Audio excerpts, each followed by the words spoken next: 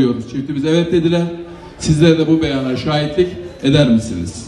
Şahit yettim. Mutluluklar diliyorum.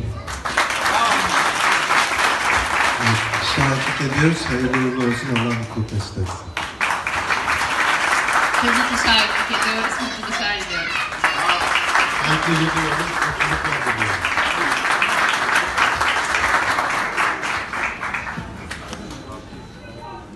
Murat abi dedi ki buraya gelirken öyle değil mi? Ben görevimi tamamlıyorum. Şimdi tamam dedi. Yeni nesillere inşallah. Tabii bugün bu güzel günü sizlerle birlikte geçirmek bizim için ayrı bir mutluluk.